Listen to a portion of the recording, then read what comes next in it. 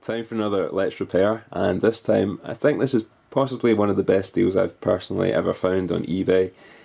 As before, I've recorded this over the course of like several days, so by the end of the video you'll actually get to see how everything turned out, whether whether it went well or, or not so well. But anyway, I'll just let you watch the video. So here's the latest faulty console that I've bought, and it's a TurboGrafx 16 UK PAL boxed, and it comes with the Blazing Lazers game, and got this for an excellent deal. I think it's eleven pounds fifty, including free postage, and it's faulty, but um, when you see what comes with it, I think you'll agree it's a, a very good deal. So, yeah, comes boxed, and I'm guessing these are pictures of the actual uh, console and everything here. So, it comes in the uh, polystyrene inlay. You get the controller with it, and there's a console there. Um, looks in really nice condition. There's a bit of a, a mark up this end, but we'll see what that's like when it eventually turns up. So everything looks fine. You get the AV cable with it, and the power cable or power adapter. This looks like it's maybe a an aftermarket thing that they've thrown in there, but again, we'll see when it turns up. And you get the game. I don't know if you'll be able to see that, but it, that's even got its uh, little plastic sleeve. And finally, you've got the controller and the uh, instructions in their original baggie. So all of that for eleven pounds fifty, including the postage. I don't know why no one else bid on this, but just seems no one else was really that interested in it, and uh, I managed to snag it for eleven fifty. So just waiting for this to turn up now, and I'll read you the description of the fault actually. which is down here. So, um, where is it? Console will only display a blank color on startup and hangs indefinitely.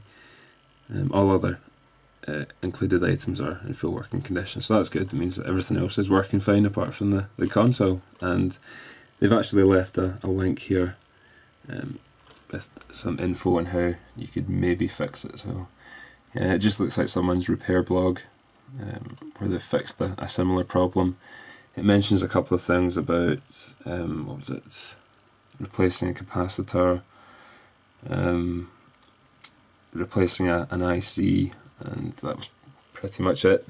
But what ended up working for this guy was to um, clean up the contact pins for the, the cartridge and reflow some solder. So I'm hoping that this one um, is similar. But again, I'll need to find out when it, it turns up. Uh, so I've only just won this today, so the date's the, the 23rd of January. And I've actually bought things from this seller before, they're called Game Sensei. Um, this is the same seller that I got my Neo Geo CD controller from, and again that was faulty as well, but it turned up like next day, and uh, I just needed to replace a couple of parts and that, and it worked fine again. So yeah, I'm hoping this turns up quite quickly, and I can uh, have a shot at repairing it because I've never actually owned one of these before. Um, so I don't really know too much about them, but should be fun to give it a go. Uh, I'll give it a go at trying to fix this thing, so I'll make another video when it eventually turns up. Okay, so it's now Friday and it's two days on from when I recorded the first part of this video and this just turned up so I'm guessing it's the TurboGrafx so I suppose the next thing to do is open it up and see what we've got. Not too sure what this bulge is on the top but uh, yeah, let's see what we've got. I'm halfway into the package and so far everything seems to be in good condition. On the top here there was this uh, jiffy bag and inside that it had uh, the AV cables, they look to be in pretty much excellent condition. The power adapter, and I think this is probably the game, so I'll just continue opening this up. So I've now got it all unpackaged and very happy with what I've seen so far. So here's the console itself, and it looks to be in great condition. I can't see any signs of damage or obvious misuse or anything like that. It's nice and clean. There's no scuffs or scrapes. It's even got the original uh, protective plastic over the, the TurboGrafx logo there. So yeah, very happy with that. And here I've also got the, the controller, and again, It's in excellent condition. Doesn't look like it's ever even been used.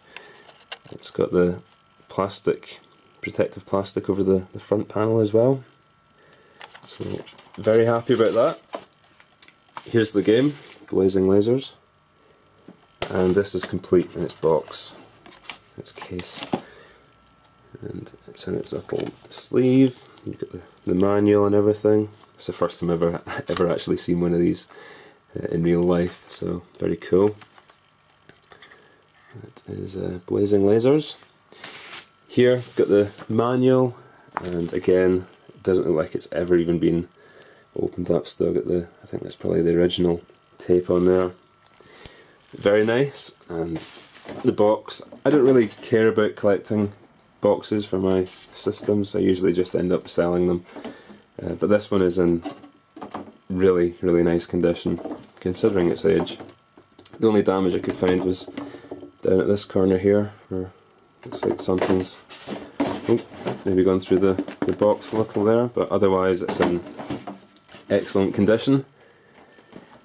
And of course it's got the original polystyrene insert and the cardboard cover went over the top of that. So overall, very very happy with what I've seen so far.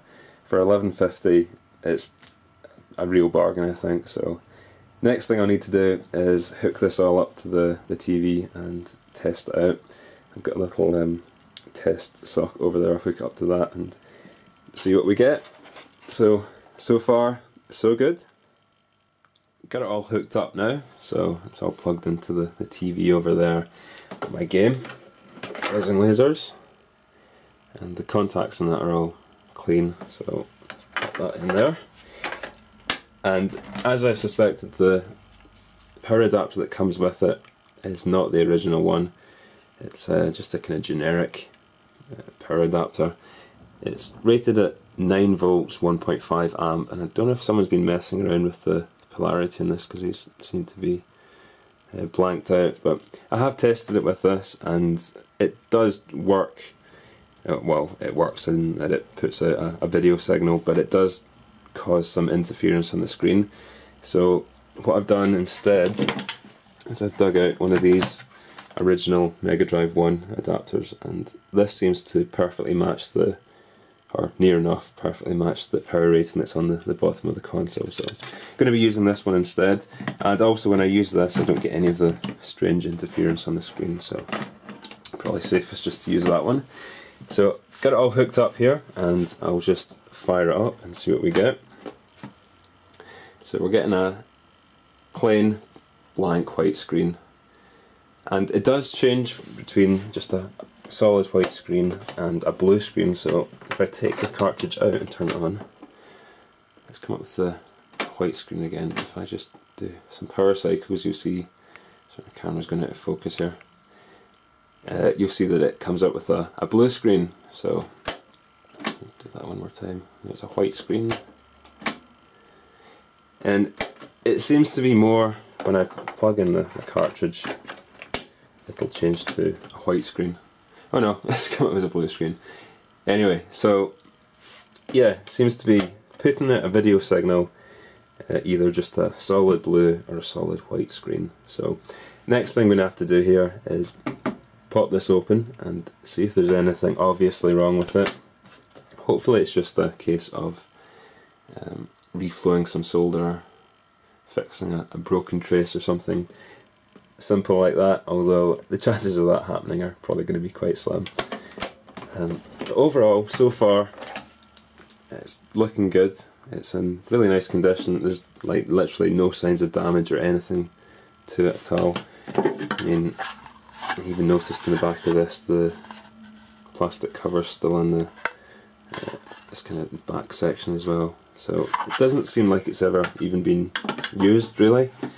So yeah, yeah, next all we need to do is pop it open and see what's going on inside. I've mostly got the console now disassembled into its component parts, so over here you can see the top and the bottom sections, and they were just held together by these game bit screws here. I think there was about eight of them or something. And here's the, the main board, the motherboard, and this is where I came across my first hurdle.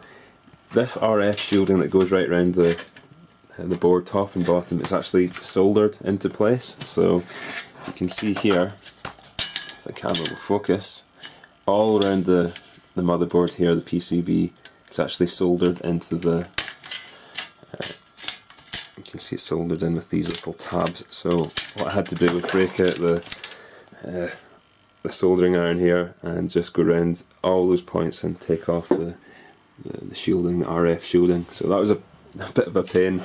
I've only taken the top half off so far, I need to do the same with the bottom.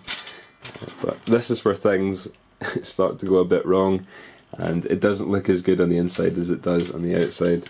So I'll just pop this off here.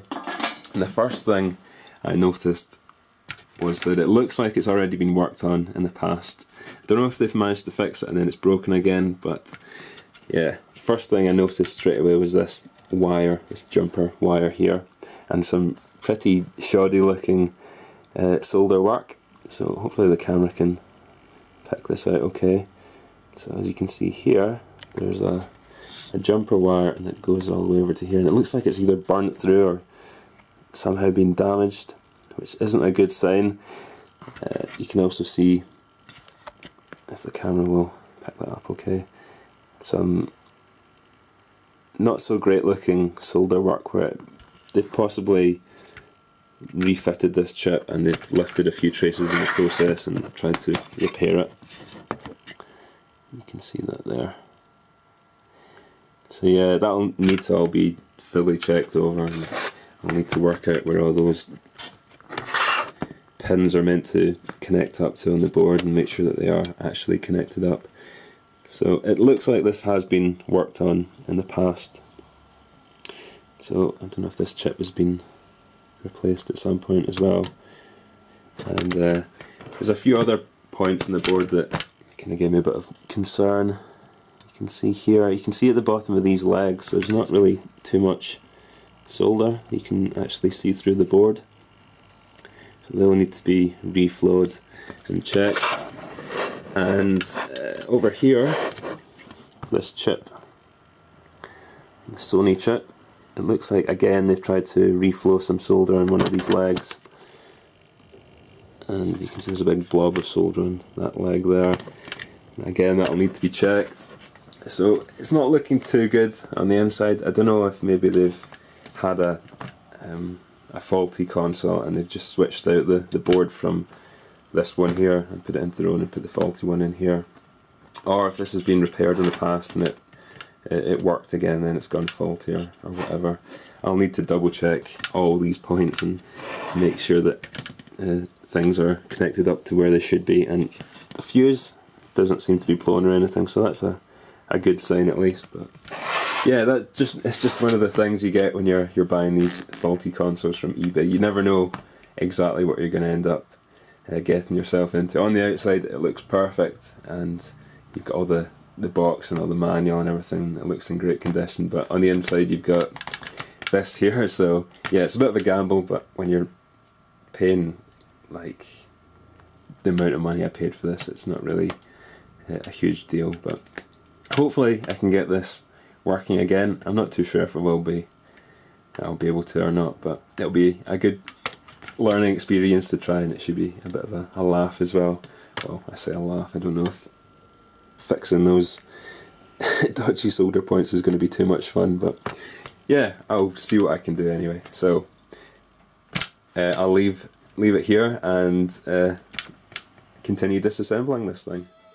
So good news, I'm actually getting some signs of life from the board and as you can see I've managed to get the title screen to come up, the music's playing fine and it'll actually play through the demo mode and everything so yeah, I'm actually genuinely surprised I managed to get anything to, to work at all uh, given the condition the board looked in but all I did, I haven't really done anything yet, but I was just going around this IC here and just pressing down on the different pins to see if I could try and isolate where the, the bad connection was and it seems to be these uh, pins down this corner here. So what I'll do is I'll go over them. I'll actually go around the whole chip with the soldering iron, reflow the solder and hopefully that'll be a, a reliable fix and it should work fine again. But yeah getting some signs of life from the board and genuinely quite surprised and very happy to, to see that. So I'll keep testing it and hopefully I'll get a reliable fix out of it.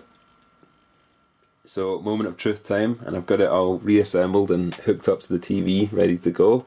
I've reflowed and resoldered all the various contact points and pins and legs on the uh, motherboard there, and I'm reasonably confident that I've got everything repaired and back to the way it should be. So, I'll test it out. I've got my copy of Blazing Lazers here. I'll pop that in and switch it on. And as you can hear and see, it's working fine. I'll just change the aspect ratio 4x3. So it's working fine. So I'm very, very happy about that. Just let it play through the intro. Blazing Lazers. So for what, £11.50, I've got myself a pretty much mint condition TurboGrafx 16 mint condition pad, game, instruction manual and box for £11.50 and what was that, maybe 20 minutes of resoldering. So I can now go ahead and start adding some TurboGrafx 16 games to the collection. So there you go. There are still bargains to be had on eBay if you just spend a little time uh, looking for them and then you might need to fix them up a bit but otherwise they're they're still there to be found and perfect example right there. I think that was a proper bargain so hopefully this is interesting to watch so thanks for watching and I'll catch you again soon.